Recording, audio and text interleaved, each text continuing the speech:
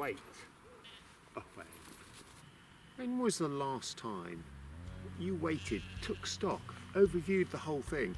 It's a key part of shepherding to see the big picture. So I'm not only looking at the grass, I'm looking at the dog, I'm looking how the sheep are relaxed. They're all key things. When did you in business stop and reviewed the whole situation? We all know time is precious, but actually this is a key activity. When the sheep are running fast, everything happens really quickly and would need to react instantly. There's that pressure.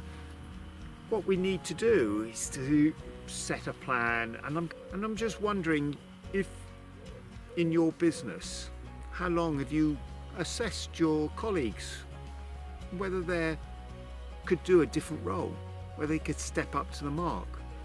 We've had thousands of clients come and do Raising the Baa. So having playful learning is such a good thing to do, but actually really getting those key learnings and where they can develop and what they need to do. They've had an immense amount of fun out in this fresh air, but actually the truth of the matter is, is they've discovered that how good they are at doing these key elements. So when was it the last time you took stock? Why not book a discovery call on the link below and let's see if we can help. Look forward to speaking to you soon. Bye now.